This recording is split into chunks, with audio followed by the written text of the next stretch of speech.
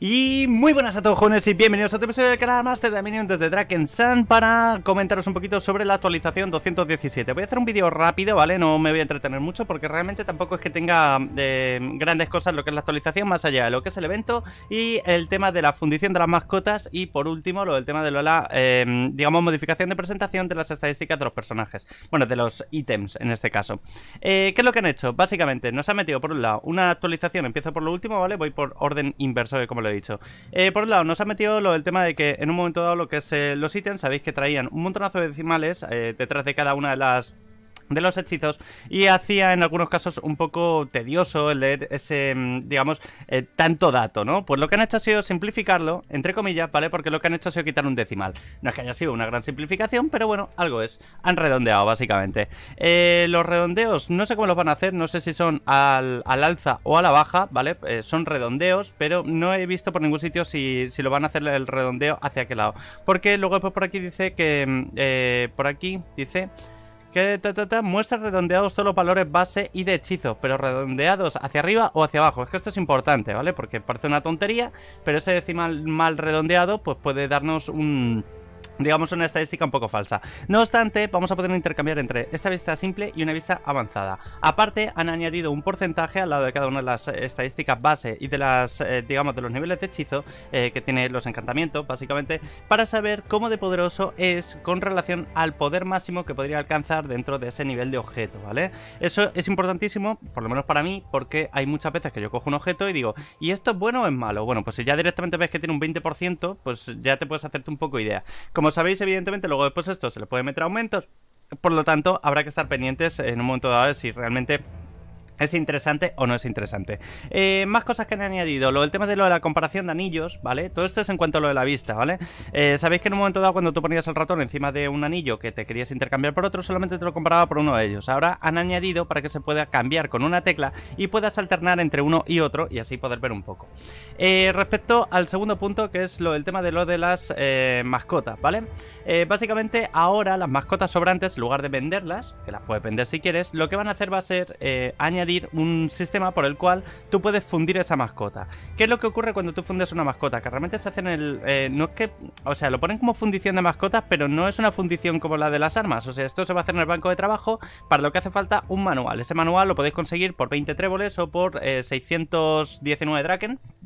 Eh, y bueno, pues eh, básicamente lo que hace es que en un momento dado, dependiendo del nivel de la mascota, te van a dar eh, más crecerita o menos crecerita.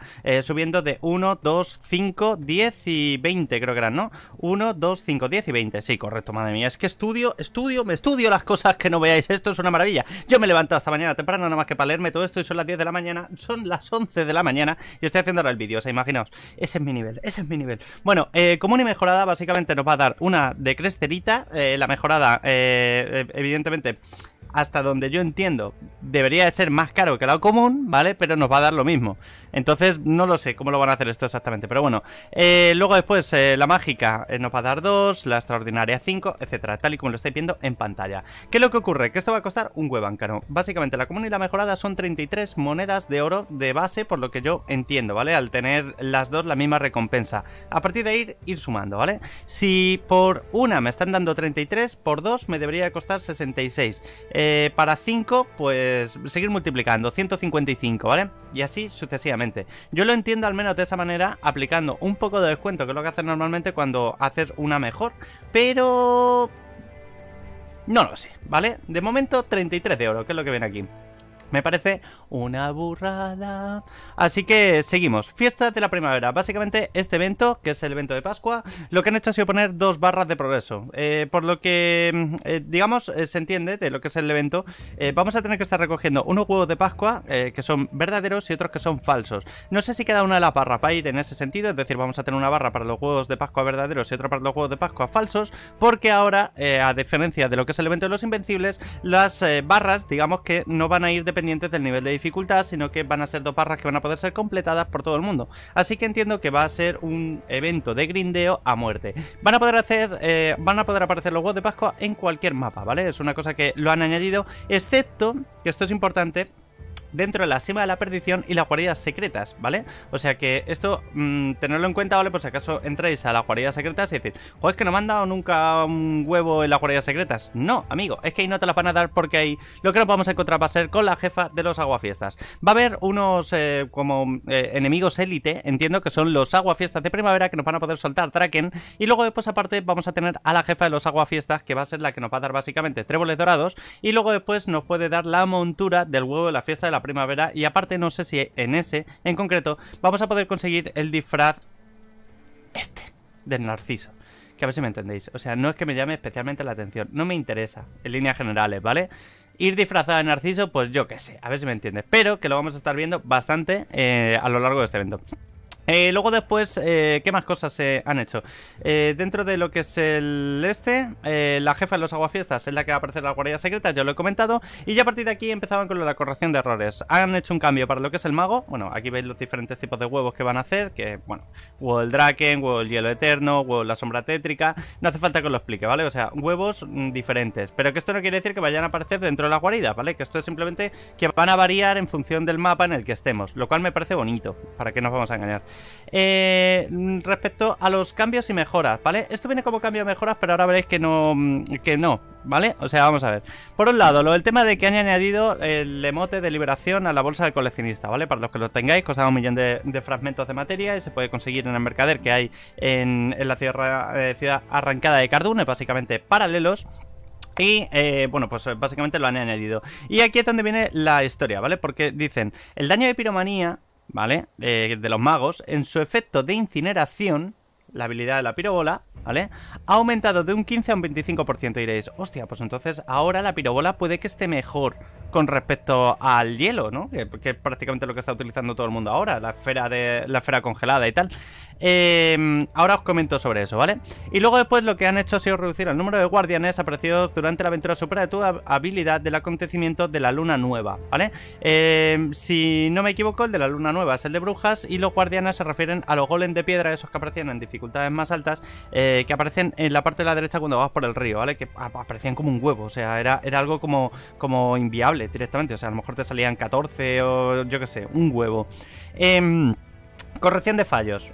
Y aquí es a donde iba con lo del tema de lo de la esfera congelada. Dice, se ha corregido un error por el que el efecto de reducción del tiempo de recarga de sincronicidad no funcionaba de la manera correcta al combinarse con runas de la concentración. Dices, vale, no sé ahora mismo ni qué era la sincronicidad, ¿vale? No sé si esto está dentro de la habilidad de singularidad o qué. No lo he mirado, ¿vale? Pero, pero bueno, pues ya está. Pues han... se supone que lo han mejorado con las runas de la concentración. Yo es que como runas de estas no tengo, pues no sé. No sé, ya me contaréis. Si alguno las utiliza, si, si realmente habéis notado alguna diferencia.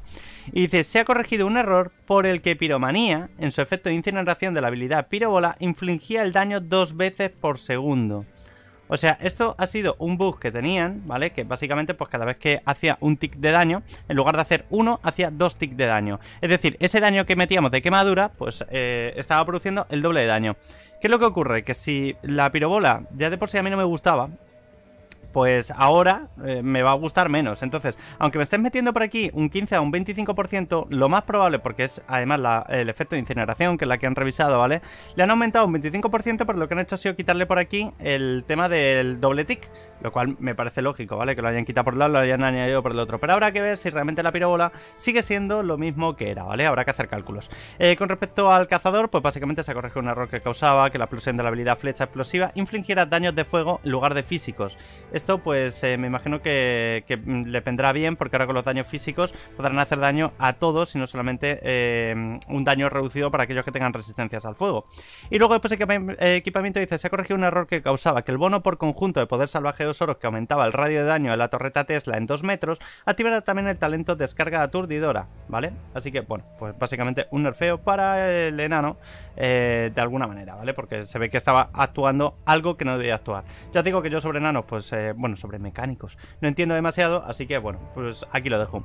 Eh, ya sabéis, tenéis aquí toda la información por si lo queréis leer vosotros mismos. Yo os he hecho un pequeño resumen que nos ha llevado menos de 10 minutitos, así que espero que lo agradezcáis, que este vídeo sea corto y me voy a grabar que hoy tenemos Draken Sun y tenemos también a Da Herrera y tengo que grabar muchas cosas, así que nos vemos. Chao, chao.